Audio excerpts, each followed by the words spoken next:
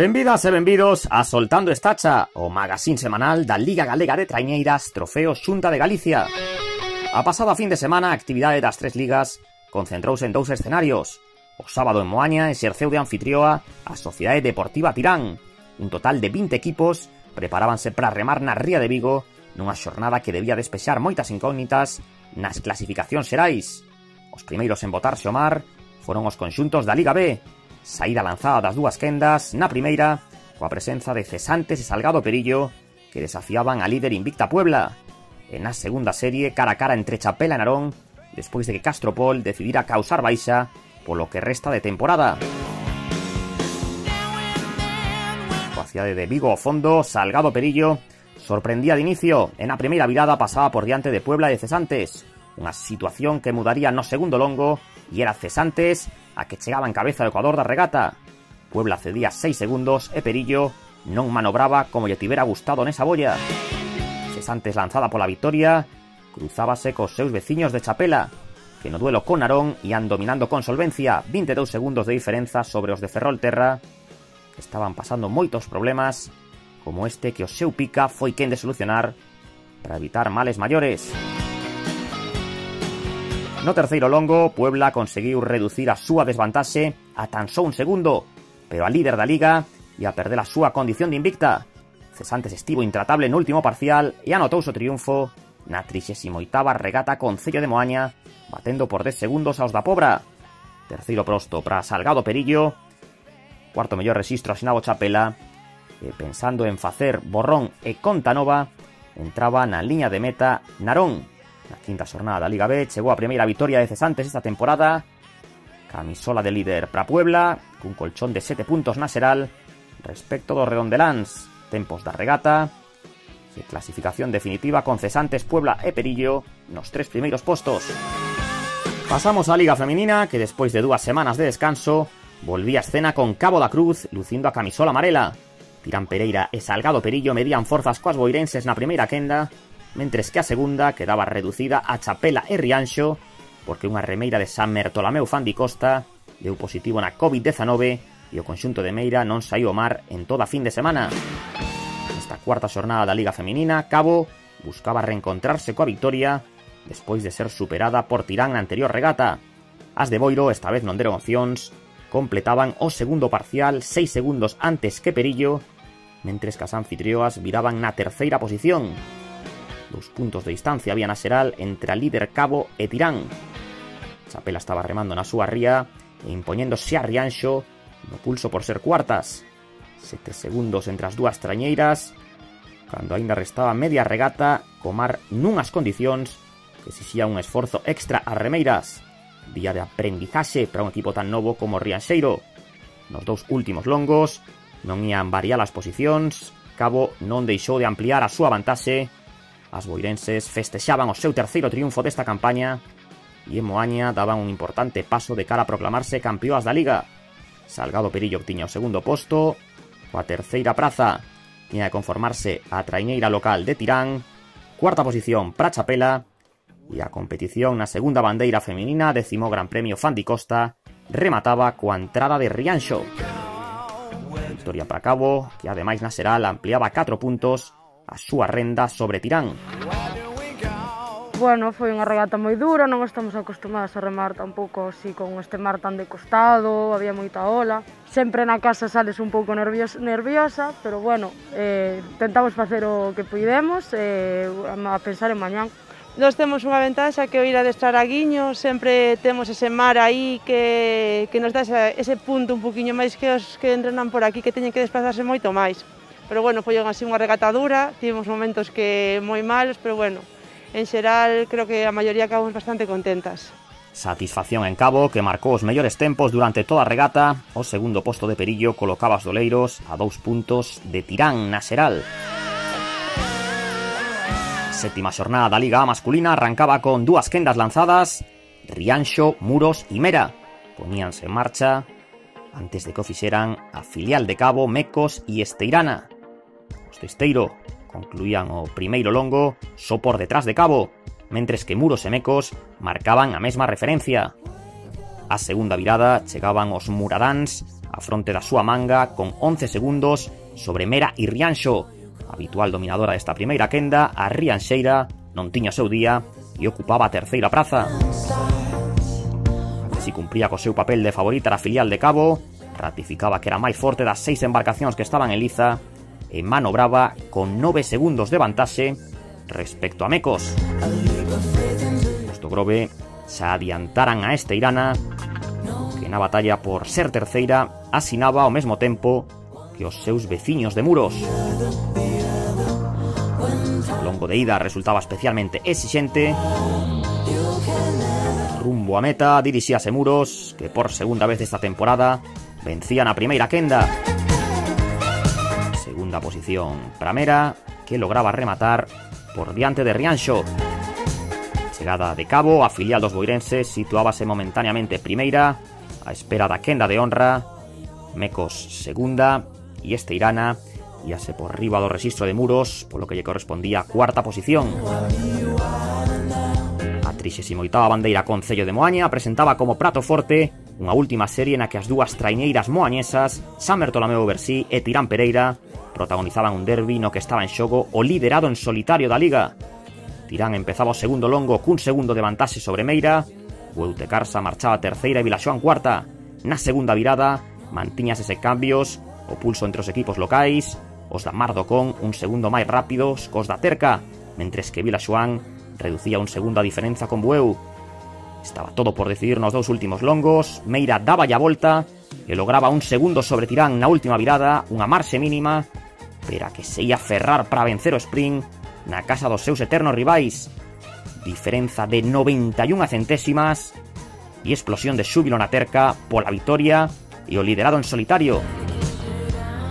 Terceiro posto para Vilaxoán, que tamén remontou para dobregar a Bueu no man a man pola terceira praza. Emocionante a máis non poder o peche desta xornada, na que San Mertolameu Bersí adxudicouse a bandeira organizada polos seus veciños e rachou o seu favor o empate existente na clasificación xeral. O mar estaba moi difícil, daba na mura de, de estribor a oír e despois na aleta de popa, moi complicado remar, pero bueno, é o que hai, estaba para todos igual, había que remar e pois eles tiveron a sangre fría de saber remar mellor e dar na hora boa. Tempos de cada unha das trañeiras, nesta victoria de Meira, por diante de Tirán e Vilaxoán. O domingo, as tres ligas do trofeo Xunta de Galicia desembarcaron en Rianxo. Indicación estrita do protocolo para previr contaxios da COVID-19 antes de comezar a remar na Ría da Arousa.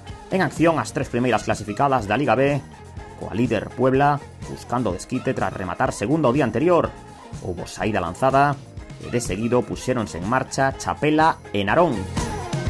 Bastante igualdade entre todas as trañeiras no primeiro longo, salvo a excepción de Puebla que abría oco as primeiras de cambio. Os da Pobra do Caramiñal competían cerca da súa casa e non tardaron en despegarse de Cesantes e Salgado Perillo. 5 segundos de vantaxe respecto ao Redondelans e 13 sobre os doleiros no ecuador da regata.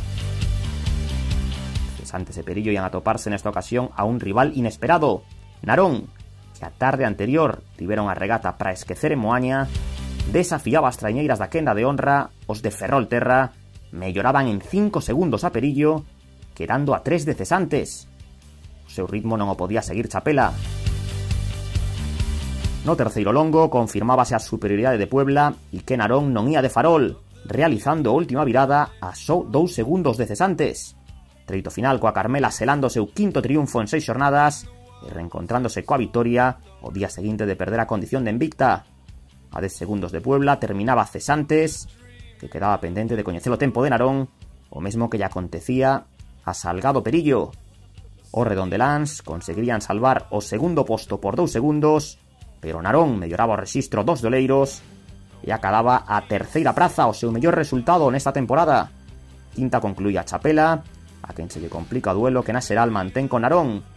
A decimosexta regata Concello de Rianxo e a camisola de líder quedaron no Barbanza co triunfo de Puebla primeira posición para os da Pobra en todas as referencias, adxudicándose a regata por diante de Cesantes e Narón.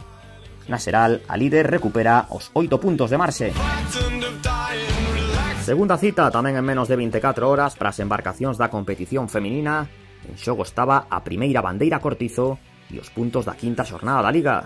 Saída lanzada das dúas quendas, un día moi especial para a traiñeira de Rianxo, que por primeira vez remaba como local, O vento sopraba con forza e a líder Cabo aproveitouno para voar no primeiro parcial, logrando 9 segundos de renda sobre Tirán Pereira. A ameaza para as boirenses chegaría polo carreiro número 1, onde Salgado Perillo era máis rápida no segundo longo e viraba a 3 segundos. Lonxe das dúas primeiras, xa marchaba Tirán, que igual que o día anterior, sufriu para xestionar o factor vento. No pulso da segunda quenda, Rianxo Chapela alcanzaran a primeira boia igualadas, pero as redondelanas foron pouco a pouco deixando atrás as anfitrioas. A diferenza era de 13 segundos a metade da regata. Proxecto de futuro de Rianxo, con case todas as súas remeiras con menos de 20 anos. A Perillo volveuse escapar cabo no longo de ida e as de Boiro rubricaban deste xeito a súa cuarta victoria desta campaña. A 13 segundos finalizaba Perillo, a quen se lle resiste o triunfo parcial, pero que volveu recortar a súa desvantaxe na Seral con Tirán. Agora é dun único punto. As moañesas non callaron a súa mellor fin de semana. Cuarto posto para Chapela, gañadora da segunda quenda por diante de Rianxo. Iso sí, as locais colleitaron como recompensa a ovación dos seus seareiros. Unha xornada máis camisola mura de líder para Cabo da Cruz e esta bandeira tamén quedou na Ría da Lousa. Eh, a verdad que viñamos con ganas, porque claro, eh, sabíamos que Perillo e Tirán iban a por nós. Viñamos con boas sensacións de onte, o primeiro posto, pero sabíamos que iba a ser dura. Eh, a bolla non axudou moito, verdad, pero, pero bien, contenta. Estábamos felices, con moita ilusión, salimos remar a intentar gañar a tanda non foi o caso, pero bueno, moi contentas por remar na casa e ser a primeira vez que remamos en Traíñas. Tempos da regata con Cabo vencendo grazas a un registro de 24-38-01, segunda Perillo e terceira Tirán, na xeral máxima ventaxe da temporada para líder, 6 puntos, a falta de dúas regatas, Cabo ten a liga case no peto. Coa da trañeira local iniciaba a 17ª bandeira con cello de Rianxo da Liga A. Compartían serie cos anfitrións, Muros e Mera. Houbo saída lanzada para as dúas primeiras quendas, na segunda remaban a filial de Cabo, Mecos e Esteirana. Os de Esteiro non ia acabar a toparse cómodos co vento e no primeiro longo cedían 3 segundos con Cabo e Mecos, que marchaban igualadas. Na primeira quenda marcaba pauta o equipo que competía na casa, a motivación de Rianxo era dobre, quería facelo ben diante da súa afección e de paso desquitarse do mal sabor de boca do día anterior. De quedar última moaña, a Rianxeira pasou a dominar con claridade ante Muro Semera, Os de Oleiros cedían 5 segundos cos muradáns, pero ían reducir esa diferenza. Seguían máis ou menos a par Cabo e Mecos na segunda quenda, pero fíxense que gran virada dos de Boiro. As dúas melloraban o rexistro de Rianxo, unha referencia coa que igualaba Esteirana, o duelo estaba servido entre a traineira que pechaba a segunda serie e a que abría a primeira. Rianxo era consciente de que podía repetir o seu mellor resultado da temporada e apertou ata o final. 20 segundos dos anfitrións Entrou Muros, vencedora do axustado man a man con Mera. O último longo, Cabo conseguiu soltar a Mecos e colocábase primeira na regata. Segunda posición para Mequiña, asinando unha actuación máis que convincente. E por último a Esteirana, a quen se lleía o tempo dous segundos por riba do de Rianxo oitava xornada da Liga A ainda lle restaba unha quenda de honra chea de alicientes. San Bertolomeu Bersí defendía o punto de vantaxe sobre Tirán Pereira no máis alto da tábua, mentres Vila Xoán tiña dous de marxe respecto a Bueu de Carsa na terceira praza. No segundo longo marcaronse as primeiras diferenzas nos duelos directos, Tirán comezaba a virar 4 segundos antes que Meira, e a terceira que xestionaba esta bolla era Bueu, sendo 6 segundos máis rápida que Vilaxuán. Variarían moi pouco esas referencias no terceiro longo coa líder San Bertolameu que non conseguía dar caza a Tirán.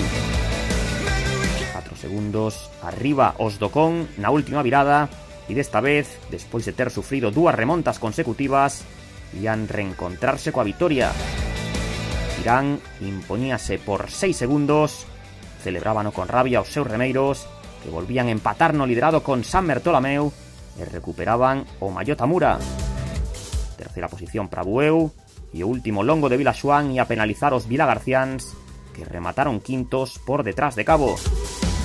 A vinganza deportiva de Tirán non se fixo agardar e o día despois de caer na súa casa vestíanse de líderes. Pois a regata foi bastante ben de remada, supemos coller a remada bastante mellor que onte, o día tamén axudou, non estaba tan, de, tan malo como onte, non estaba tan decostado o mar, e sacamos a remada e quitando o último largo que igual nos perdemos un pouco, os demais largos remamos ben. Na casa sempre un se sinte como que pode facelo todo, sabes? Motivado, despois estábamos con rabia pola, pola mala regata de onte, eh, salimos hoxe a, a dalo todo na casa e intentar eh, dar un pequeno golpe na mesa. Triunfo de Tirán Pereira en Rianxo cun rexistro de 20-50-62 a destacar o cuarto posto de Cabo e o sétimo de Rianxo. Na Seral, empate na primeira e tamén na terceira posición. O trofeo Xunta de Galicia regresa este sábado en Muros en a Pobra do Caramiñal.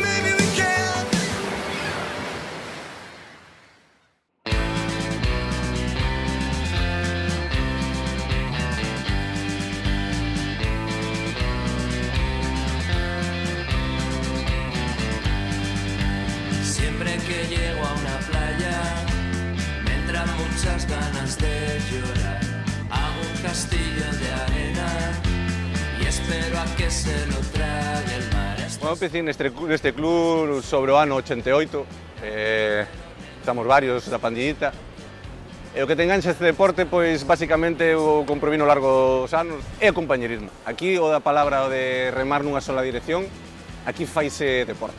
Ese é o noso deporte. Os mellores anos foi cando estuveron na CT, do 2003 ou 2006, e cando truxeron a bandeira de Onda Rivia e a bandeira de Astillero. E, pois, en principio, para celebrar os 40 anos, estamos sacando imágenes no Face dos 40 anos do club. E, claro, celebración non se pode facer ningunha respecto ao COVID e todo isto, entón, pois... Temos un equipo moi xoven, eh, é un ano de transición, non? Entonces, eh, como que empezamos a, a crecer de novo. A miña función principal é levar a embarcación, meterlles caña aos remeiros, eh, facer as ciabogas, eh, animalo psicolóxicamente, todo iso. O tempo que correu con isto do Covid costou moitísimo pois eso, estar entrenando na casa, pero bueno, eles esforzáronse moitísimo, eso sabémolo, e eso pois terá unha recompensa, claro está. Tuvemos 10 baixas do equipo titular e tuvemos 14 baixas en total da, de toda a tripulación. Eh, son moitos cambios con respecto ao ano pasado, por eso a formación do, do equipo novo, non? no que hubo que introducir eh, cinco juvenís eh, máis xente que, que estaba parada incluso. Eu creo que ten potencial para estar na tanda de honra, eh, para eso e para máis.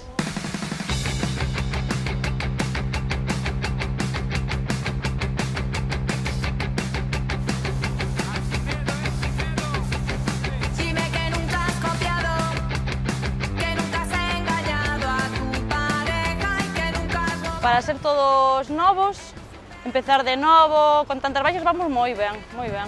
Contentos cos resultados porque estamos na mitad da tabua e, eh, e podemos, vese que polos resultados podemos incluso botar de azar para algún dos de arriba. A xente do Grove eu creo que está repartida, que é máis de, de... A ver, habrá repartimentos para piragüismo, habrá repartimentos para, para remo, pero bueno, eu creo que tiran algo máis polo remo. Xa non era remar contra un club, remabas contra un pueblo, era remar, por exemplo, a Boiro, traer a bandeira de Boiro, era como unha incursión, era como facer unha incursión meca noutro, supoño que eles terían o mesmo sentimento, non? Vir o Grove e levarnos a bandeira. Hoxe en día xa se rema para un club realmente, hai xente que está noutros clubs, do mesmo pueblo, xente que remamos xuntos hasta noutros equipos. Eso tamén é bo, porque che crea máis compañerismo, máis far máis amigos con isto do remo, final faise máis grande. Un club histórico como a Migrove pois sempre se bota de menos. Eh, tuvo uns anos aí de baixón que lle, lle levaron a, a quedarse en terra, pero obviamente sempre un rival eh, forte, co que todo o mundo lle gusta medirse, eh, é unha pena, a verdade, que non este no mar este ano. Ah, eu creo que é un momento moi bo, porque temos moitísimos nenos, ven sendo de todas as categorías, eu creo que está vivindo un momento moi bo. Este ano non temos traíña femenina porque non pudemos conseguir para xuntar o equipo, eh, entón nada, a ver se si por o ano podemos conseguilo. Eu penso que sí, nun futuro próximo podremos ter unha treinera femenina, mas vense traballando moi ben coas rapazas, e hai un grupo moi amplio na base das rapazas, eh, moi pronto volverán a estar. A ver, ben, non, non se nota a diferencia entre ir contra mulleres e con homens, porque realmente tens que facer o mesmo, dá igual o, o sexo, tens que facer exactamente o mesmo, non, non notas diferencia realmente. Con esta nova directiva, eh, despois de 20 anos que levaba o presidente anterior, pois nós casi todos somos mm, novos na directiva e o que esperamos é eso, lograr moitos éxitos po club e que duremos moitísimos anos. Pasaron moitos sponsors polo club, pero un dos patrocinadores principales que é Agua de Mondariz, que sempre nos apoiou incondicionalmente, nunca houve un no pola súa parte, sempre foron sí a todo, hasta dentro das súas posibilidades, que 20, 25 anos, 30 anos despois, no 40 aniversario do Club de Remomecos, siguen nos apoiando, a día de hoxe siguen sendo unha parte importantísima do Club de Remomecos. Outros os que lle temos que agradecer moitísimo son Conservas Isabel, que durante moito tempo nos axudou e sei que no futuro, de alguna maneira ou doutra, nos poderá seguirá axudando. Polo seu encanto, polo seu polo que vedes, polo mar, pois é, é o que fai bonito este deporte. Se si che gusta isto, gusta che pa toda a vida. Cando eres remero, gustache remar. Cando non podes remar pola edad ou polo que estás lesionado que sea, sigue che gustando remar. Isto tira tanto que eu creo que o levas nas venas, eu creo que algo que algo se si probas é unha droga grandísima. Eh, dende o Clube Remo Mecos queremos eh, darvos unha grande despedida ao programa Soltando Estacha.